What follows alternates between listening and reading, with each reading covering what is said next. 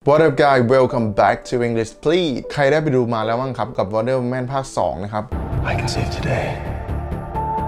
but you can save the world. ตอนนี้หนังมันออกมา 2-3 อาทิตย์แล้ว ถ้าใครยังไม่ได้ไปดูให้ปิดคลิปนี้เลยนะครับผม มันจะมีสปอยนั่นแหละนะครับผม ผมเองเนี่ยชอบดูหนังมากๆ แล้วก็เรียนรู้ภาษาอังกฤษอยู่กับหนังต่างๆ มากมายนะครับผม วันนี้ผมก็จะพูดถึง Wonder Woman ภาค2ที่ผมได้ไปดูมานะครับผม ผมว่าเขาทำได้ดีกว่านี้นะ ส่วนตัวผมไม่ได้ปลื้มสักเท่าไหร่ ผมชอบภาคแรกมากกว่าแบบเล่นใหญ่แต่การตา แต่ภาคนี้จะเล่นกับความรู้สึกของคนความผิดความนึกคิดอะไรแบบนี้นะครับก็ดีไปอีกแบบหนึ่งนะครับผมแต่ว่าผมคิดว่ามันน่าจะสนุกมากกว่านี้นะอันนี้ส่วนตัวผมนะก็คือไม่มีดราม่านะครับผมผมประทับใจฉากนี้มากนะ ฉากที่เขาบอกลาแบบแอบน้ำตาซึมนิดหน่อยนะครับแล้วก็ชอบภาษาอังกฤษในการพูดฉากนี้มากๆนะครับผมเพราะฉะนั้นวันนี้เนี่ยผมก็จะนำประโยคนะครับที่สตีฟกับแดน่าได้บอกลากันเป็นฉากสุดท้ายนะครับผมเดี๋ยวเรามาแกะไปพร้อม ๆ กันนะครับทีละคำทีละประโยคเนาะโอเคคลิปนี้สปอยนะครับผมสำหรับใครที่ยังไม่ได้ดู Wonder Woman 2 นะครับผม scene แรกอะ Wonder Woman ก็พูดกับพระเอกก่อนนะครับบอกว่า I'll never love again ก็คือ I will never love again ไดอาน่าได้พูดกับสตีฟนะครับ ก็คือเหมือนแบบว่าฉันจะไม่รักใครอีกแล้ว คือเขาก็พูดออกมาด้วยความเศร้าด้วยความเสียใจนะครับ เพราะว่าสตีฟจะไม่อยู่แล้วอะไรอย่างนี้นะครับผมสตีฟก็ตอบกลับมาว่า I pray that isn't true I pray that isn't true ก็คือแบบ ผมภาวนาว่าที่คุณพูดมามันไม่ใช่ความจริงนะ สตีฟก็ห่วงใยก็รักไดอาน่านะครับ ก็อยากจะให้เขามีความรักต่อไป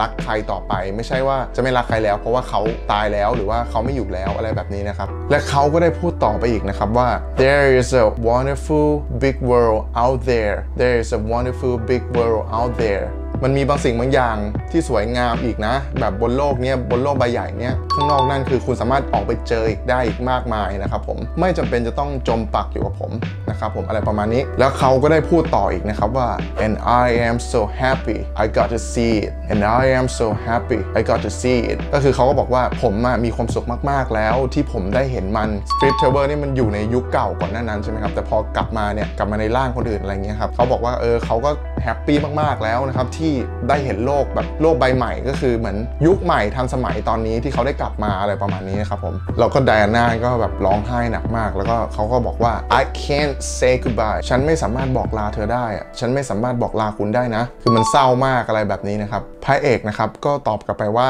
you don't have to I'm already gone โหเศร้ามากประโยคนี้คือแบบไดอาน่าบอกว่าฉันไม่สามารถบอกลาได้ แต่พระเอกก็ตอบกลับมาว่า คุณไม่ต้องบอกลาหรอก เพราะว่าฉันน่ะจากไปตั้งนานแล้ว คือเขาก็บอกว่าตัวเขาจริงๆเขาตายไปนานแล้วนะครับผมน่าจะทำใจได้แบบว่าไม่ต้องบอกลาหรอกฉันตายไปนานแล้ว ฉันจากไปนานแล้วอะไรประมาณนี้นะครับ แล้วสตีฟก็ได้บอกต่อว่า I'll always love you Diana ก็คือแบบผมจะรักคุณตลอดไปนะ Diana no matter where I am ไม่ว่าผมจะอยู่ที่ไหนคือผมจะรักคุณตลอดไปนะจากนั้นก็เรียกน้ำตา ผมก็น้ำตาไหลนะ ตอนดูในโรงแล้วก็ Diana ก็บอกว่า I love you ฉันรักคุณนะ แล้วเขาก็เดินหนีออกมาเลย ก็คือวิ่งออกไปพรมันหมดแล้วก็เลยแบบกลับกลายเป็นคนปกติอะไรแบบนี้นะครับ ก็เลยจากกันตรงนั้นเลย ส่วนตัวผมผมคิดว่า ผมชอบภาคหนึ่งมากกว่านะครับภาคนี้ก็จะเล่นทางความคิดมากขึ้น ก็สนุกไปอีกแบบหนึ่งนะครับ แต่ในส่วนตัวนะผมคิดว่าภาคหนึ่งสนุกกว่านะครับผมใครที่ยังไม่ไปดูก็ไปดูได้นะครับ ส่วนใครที่ดูแล้วก็คิดเห็นยังไงกับหนังเรื่องนี้นะครับผมก็สามารถคอมเมนต์กันได้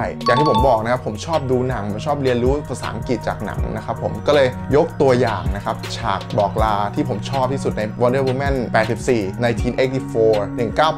1984 นะครับภาค2นะครับยกซีนที่ชอบมาแล้วก็มาแปลภาษาไทยให้ฟังนะครับผมหวังว่าคุณจะได้ประโยชน์นะครับจากคลิปนี้นะถ้าใครนะครับที่อยากจะสนับสนุนเพจอยากสนับสนุนผม อยากสนับสนุนช่องนะครับนอกจากกดไลค์กดแชร์ดูวิดีโอของผมแล้วเนี่ยคุณก็สามารถสั่งซื้อเสื้อ English Please ได้มี 2 ไซส์เป็นไซส์เหมือน oversize หน่อยนะครับผมมี free size M อกจะอยู่ที่ 44 นะครับ แล้วก็ free size L อกอยู่ที่ 48 นะครับ เป็นตัวใหญ่ๆหน่อยเป็นแนวๆที่ผมชอบนะครับผม ถ้าใครอยากสนับสนุนก็สามารถทักแชท inbox มาได้ในเพจ English Please นะครับผมสามารถ add LINE มาที่ B O A T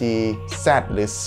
1 4นะครับผมก็สามารถทักมาซื้อในไลน์ได้นะครับผมราคาตัวละ 590 บาทเท่านั้นเองนะครับผมก็รวมค่าส่งส่งฟรีเลย ขอบคุณมากนะครับที่ดูคลิปนี้จนจบนะครับผม Thank you guys for watching my video and if you like it hit thumbs up and share and see you next episode peace